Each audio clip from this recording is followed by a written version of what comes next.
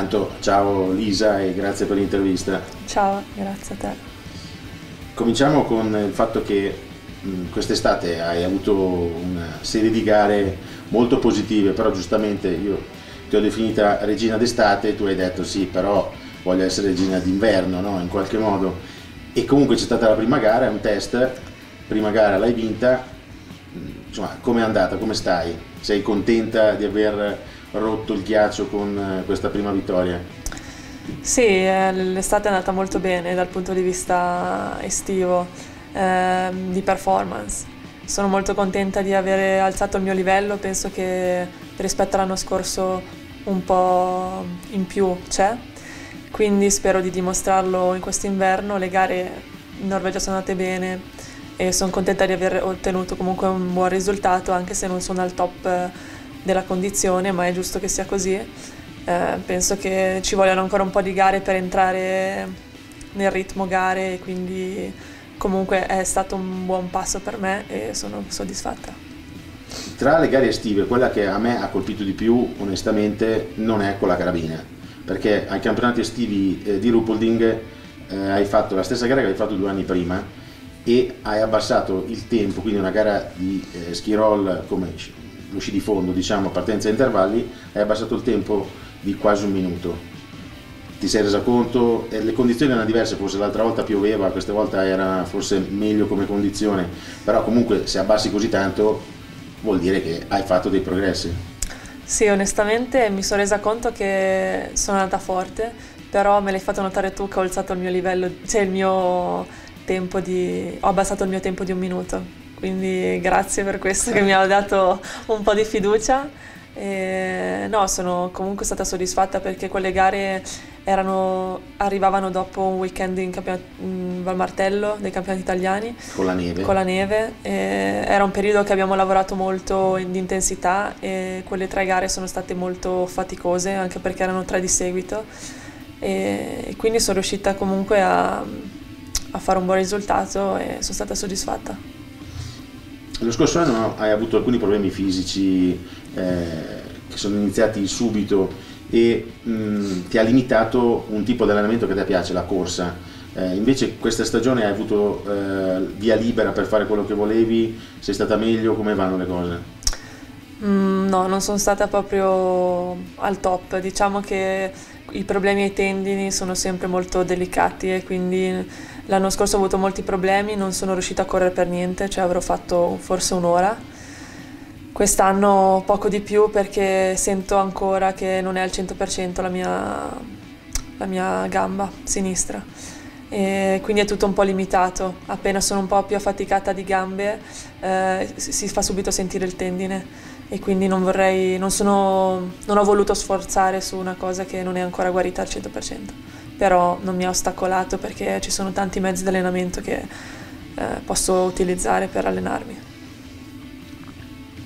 Ovviamente eh, la parte diciamo, eh, più fisica sul fondo, diciamo così, sia che sia eh, gli roll o soprattutto d'inverno eh, con gli sci, eh, ne abbiamo parlato. L'aspetto del poligono, perché uno dice, in fondo hai avuto una stagione con buone percentuali che magari si sono un po' sporcate a fine stagione, però dove puoi migliorare a Poligono? Su cosa hai lavorato?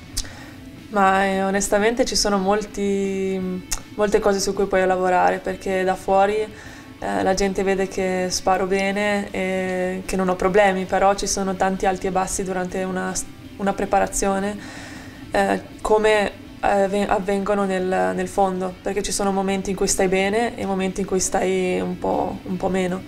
E al tiro sono così, quando stai meno bene, sei meno lucido non, e rincor- ricorrono gli errori. Quindi cer- ho cercato quest'estate di lavorare su uh, quando non sono al 100%, di focalizzare l'attenzione su, su tutto il lavoro fatto bene, così in modo che eh, durante la stagione, quando ci sono periodi un po' più faticosi, eh, sono al 100% al poligono. Non so se, se sì, sì, sì. spiegato bene, ma um, comunque ci sono tante cose. Ho lavorato molto su um, voler uh, essere avere differenti tiri, cioè il tiro veloce, il tiro da individuale e il tiro un po' più controllato, dipende poi dalla situazione perché alla fine in gara ti ritrovi in delle condizioni sempre diverse, non spari sempre uguale perché è impossibile. Oppure puoi però... È un rischio. È un rischio. Mi pare di capire che per te comunque vincere la Coppa del Mondo come obiettivo sia forse in cima alla lista, al di là del fatto che i mondiali siano in Italia, che può darti una grandissima visibilità come a Dorotea il fatto di vincere una gara in Italia, però per quello che è successo l'anno scorso, per il fatto che te la sei sentita quasi addosso quel, quel pettorale e la Coppa del Mondo eh, anche verso l'ultima settimana, è così? Mi sbaglio? Ma sì, sicuramente l'obiettivo c'è sempre, alla fine um, è in cima alla mia lista, però non è una cosa che dico ci sono ossessionata. Eh, ovviamente ah, io ci tengo a partire bene fin da subito, quindi già con, con le prime gare. E poi um, sono una che piace essere costante, quindi cercherò quello, la continuità. E una cosa tira l'altra, se alla fine se sei costante riesci a mantenere un livello alto alla fine sei sempre lì tra i primi che ti giochi qualcosa. Poi ovviamente dipenderà da come andrà tutta la stagione, se riuscirò a fare quello che ho in mente di fare e a quel punto dipende un po' dove si spostano gli obiettivi. Però guardo sempre con occhio di riguardo la Coppa del Mondo. Sono curioso di chiederti se c'è stata una gara dello scorso anno in cui hai pensato, beh, forse ce la posso davvero fare, perché comunque dopo la gara individuale dei mondiali mancavano poche gare, l'inerzia era abbastanza passata dalla tua parte in quel momento, perché comunque eh, Dorotea era un po' in difficoltà e poi avevi il pettorale giallo. Eh, può essere stato lì quando hai avuto questo pensiero o un altro momento? Ma se l'hai avuto durante, sì, durante i mondiali sapevo che potevo farcela eh, ovviamente non ero sicura al 100%, però in quel periodo stavo molto bene fisicamente, avevo le percentuali al tiro molto alte, non mi mancava niente. Solamente che, non so, la tensione o magari troppe aspettative eh, mi hanno fatto perdere un brutto, cioè mi hanno fatto un brutto scherzo e mi hanno tolto la mia tranquillità che mi, mia caratteristica del tiro. Quando non sono più tranquilla inizio a essere aggressiva e purtroppo lo riporto nel mio tiro e mi fa sbagliare tanto. Hai fatto una dichiarazione che ha comunque colpito durante l'estate, hai detto, beh, eh, Furcata ha vinto tante coppe del mondo, nel, in campo femminile effettivamente, a parte i tempi di Forsberg eh, che ne ha vinte tante, adesso è più difficile, eh, è da un po' che non si vede, ok, McLaren ne ha vinte tre, però che non si vede qualcuno che domina eh, in Coppa del Mondo, ho detto, beh, a me piacerebbe vincerne di, di più. Ti, eh, io sono, ho molto apprezzato questa dichiarazione, qualcun altro l'ha giudicata un po' presuntuosa. Ti sei pentita di averla detta oppure no? No, io se dico una cosa perché la penso, poi ovviamente ognuno è libero di pensare che posso essere presuntuosa o che posso essere arrogante, però mi è stata chiesta qual è il tuo idolo sportivo, quale eh, ti, cioè come mm, chi vorresti essere, io ho pensato eh, io vorrei essere una vincente e ho preso, ho preso come esempio un vincente, quindi oh, non ho detto che voglio e vincerò sette coppe del mondo, però ci provo, non è che non è, cioè, è lecito dirlo. Beh, d'altronde posso dirti che eh, la stessa persona che ti ha intervistato eh, mi ha detto che fuori diciamo, da, dai microfoni, eh, Kuzmina gli ha detto ma secondo me Lisa può dominare i prossimi anni in Coppa del Mondo. Se lo dice Kuzmina che eh, eri in duello con lei l'ultima Coppa del Mondo, penso ti faccia piacere, no? No, certo. Ma ho sentito tante belle dichiarazioni che hanno fatto su di me e mi ha fatto molto piacere anche perché eh, allora vuol dire che mm, mi, mi apprezzano come atleta quindi credono nel mio potenziale, quindi mi ha fatto piacere. Parlando di Coppa del Mondo, comunque, di, perché eh, so che voi magari non vi sbilanciate molto, né tu né Dorotea soprattutto, però onestamente la, cioè, siamo vicinissimi all'inizio di Coppa del Mondo e un primo test sulla neve l'avete fatto, tutte quante tranne Oberi, quelle diciamo, che sono impredicate per, puntare alla Coppa del Mondo o essere competitive, chi vedi eh, oltre a Dorotea delle altre che può essere davvero più competitiva, magari fare il salto in più, Herman, Roisland, Oebery o un'altra? Ma io ho sempre detto Rosenheim e um, Oberg. Mm, sulle altre um, non mi sento di dire sbilanciarmi perché non le vedo molto costanti. L'Herman è forte, però non è, non è una che um, è molto stabile il tiro, quindi può essere un terno all'otto.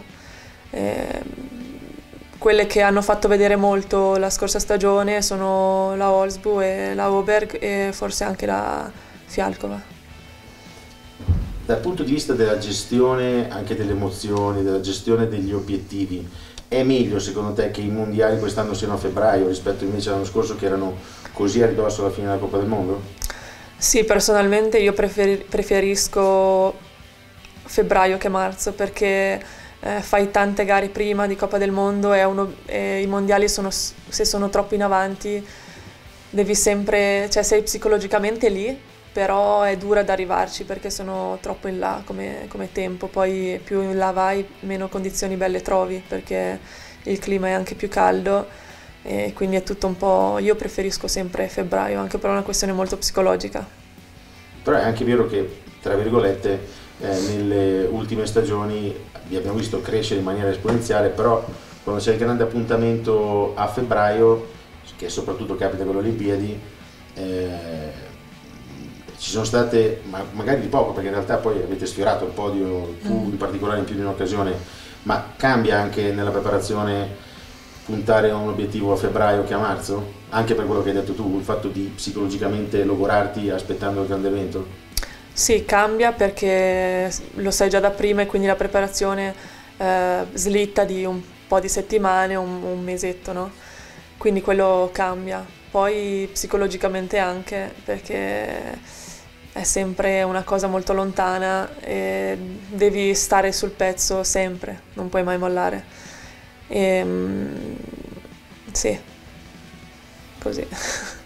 C'è una cosa che ho sentito dalle, da Dorotea, forse me l'ha detto, che in realtà voi eh, durante tutto questo periodo che state insieme comunque nei ritiri o anche durante la stagione invernale, cioè di gare non è che ne parlate tanto tra voi due, è vero? Sì, è vero. no, non parliamo mai. Infatti questa domanda l'anno scorso è stata fatta molte volte. Eh, ma com'è possibile che voi non parlate mai di che una è prima, una è seconda? Guarda, la cosa migliore per superare tensioni come queste è non parlare perché alla fine sì siamo compagne di, di stanza, compagne di vita, di allenamento e comunque anche se non la fai vedere la tensione c'è, la rivalità magari anche c'è è normale che ci sia e quindi non parlare, far finta di niente, secondo me è il modo migliore per, per superare no?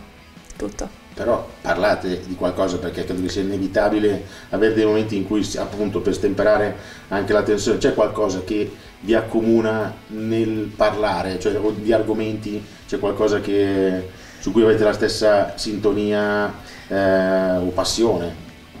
Ma noi siamo due caratteri molto diversi, si, si, vede. Sì. Eh, abbiamo anche delle, del, degli hobby diversi, magari io guardo tutto il giorno serie tv, lei non so, eh, può leggere o non so cosa... Però quando siamo tutti insieme noi siamo abituati ad andare negli appartamenti e noi donne siamo tutte assieme, quindi parliamo del più e del meno, gossip, eh, serie tv uh, fiction, eh, un po' di tutto. Ma non c'è una cosa che vi appassiona in comune, può essere appunto una serie tv o qualcosa, eh, un argomento che vi ha appassionato tutte e due, anche se siete diverse ed è la cosa abbastanza evidente. Sì, sì, parliamo di, magari se guardiamo lo stesso film o la stessa serie tv, ci confrontiamo, parliamo, e, sì, cose così, non, ma non di biathlon, tutto ma non di biathlon. Ok. Ma il vostro rapporto, io immagino che possa essere un po' cambiato rispetto a quando appunto è finita la scorsa stagione, oppure no, perché magari in realtà le cose continuano così, d'estate sono continuate così, eh, c'è lo stesso modo di comunque rapportarsi tra di voi? Sì, no, non è cambiato niente, cioè, alla fine in tutti gli sport uno vince, uno arriva secondo, alla fine eh, uno ci deve arrivare, perciò non è che in base a quello poi non li parli più o no, è successo no, qualcosa. O, no, abbiamo un rapporto normale, noi siamo abituati a stare insieme, siamo abituati a allenarci insieme e quindi conviviamo così. Ovviamente la rivalità c'è, si vede, si percepisce. Come è accaduto per Dorotea, chiaramente si è visto eh, un, una maggiore richiesta da parte degli sponsor, quindi un maggiore impegno per te anche extra sport e anche da parte dei media sicuramente più richieste di interviste. Eh, questo ti ha tolto qualcosa dal punto di vista della preparazione o anche magari eh, ti toglie concentrazione oppure no, riesci a gestirlo bene? Beh, sicuramente gli sponsor, eh, come giusto che sia, ti richiedono ad eventi o shooting e quelle tutte quelle cose che comportano avere uno sponsor. Eh, però sono riuscita a gestire al meglio tutto il mio tempo che hanno richiesto, ehm, accompagnando anche l'allenamento, quindi non ho mai perso tempo e non ho mai perso giornate che mi togliessero qualcosa dal, dall'obiettivo. Insomma. Tant'è che siamo a Livigno, eh, la tua seconda casa, e oltretutto eh, trovi anche tutta questa montagna di neve che è una bella sorpresa per questo periodo, no? dopo l'intervista puoi andare ad allenarti. Sì, è una bella sorpresa anche perché da nessuna parte c'è così tanta neve come qui e ieri sera ho fatto il passo e c'era talmente tanta neve che mi sono quasi spaventata. Eh, è bello perché adesso posso prendere e andare a farmi una sciata con 20 km di piste battute e per un atleta è sempre bello eh, quello che ti volevo chiedere è che mh, se ci sono eh, dei modelli che tu prendi a riferimento a cui ti ispiri o delle imprese che ti hanno colpito nello sport ultimamente, eh, sono curioso di sapere insomma, se c'è qualcuno che più di altri stimi. Sì, io guardo tantissimo sport e la prima persona che mi viene in mente come uh, idolo sportivo mi viene in mente Federer che nonostante la sua età e tutto quello che ha vinto in passato da giovane, adesso si è riuscito comunque alla sua età, eh, che comunque nel, nell'attività sportiva l'età conta e in certi sport ancora di più, che sia riuscito comunque a, a fare delle grandi cose ancora, ancora adesso e quindi per, mi piacerebbe riuscire a, non a, a fare la carriera che ha fatto lui perché per una donna comunque è sempre più difficile però a togliermi delle soddisfazioni grandi. Ecco, però mi viene in mente questa domanda. Nel tuo sport ci sono due esempi diversi, Dorotea che eh, da un po' di anni che dice vuole fare la mamma e invece McRannen che eh, insomma resiste eh, forse perché vuole vincere una medaglia olimpica, non so se ci arriverà o se si ritira dopo questa stagione. Qual è delle due quella a cui ti avvicini di più, diciamo? Perché uguale non credo, però eh, o stai nel mezzo? Sto nel mezzo, penso che sicuramente ho tanta passione per questo sport e eh, per adesso non mi vedo a fare nient'altro che se non questo. Eh, non punto a, a, superare i 32 anni perché non ce la farei, anche perché se vuoi restare a alti livelli eh, dipende un po' dal fisico e dalla salute e arrivare sopra i 32 anni è un po', un po dura essere competitivi la McLaren ci sta riuscendo bene perché comunque lei è sempre stata una forte e ha delle caratteristiche che lo permettono, lo permettono di fare. Però dai, sto nel mezzo, non mi ritirerò giovane e se mi ritirerò è perché c'è stato un problema o, o qualcos'altro. Però appunto comunque alle Olimpiadi in Italia. C'è una cosa che mi dimenticavo. Tu hai fatto un po' di tutti i format però ce n'è uno con cui sembra che ci stai ancora un po' litigando e soprattutto il rapporto non è completamente sbocciato, diciamo così, che è la partenza in linea. Come mai? Eh, questa domanda me la sono posta molte volte, non mi sono riuscita ancora a dare una risposta, però eh, è successo così anche per il format individuale che non riuscivo mai a esprimermi al 100%, un po' mi addormentavo durante la gara. E su quello ci ho lavorato tanto e quest'anno ho portato a casa una coppa individuale che non avrei mai immaginato nella mia vita. E quindi magari sarebbe di buon auspicio fare questo passo anche verso la Mastart che magari riesco a svoltare e a concentrarmi un po' di più su, su quel format. Hai detto che ti addormenti in gara, mi, sembra strana questa cosa, però visto che è stato un tema ricorrente nel scambio di battute simpatiche con Dorotea, scusa, tu quando dormi ti alleni, come mai ti addormenti in gara? Mm, ma mi addormento perché è una gara molto lenta, no? È una gara che sei da solo, non, sei, non fai la gara sull'uomo e non fai la lotta contro il tempo perché è una gara molto lunga. Non è come la sprint, io le mie caratteristiche sono più a una sprint che devo dare tutto in poco tempo e sparare più velocemente per, per prenderli tutti, però è una gara molto veloce che non, non hai il tempo di pensare. Invece l'individuale ehm, il tiro è un po', un po' diverso, non fai magari serie che puoi rischiare di sbagliare e in pista comunque sei da solo perché parti, parti da solo, una gara lunga, non trovi quasi mai nessuno che ti... cioè non puoi prendere e partire perché comunque sono 15, sono 15 km. In quel senso mi addormento, perché è un po' lunga. Grazie dell'intervista e in bocca al lupo per la stagione. Grazie, crepi.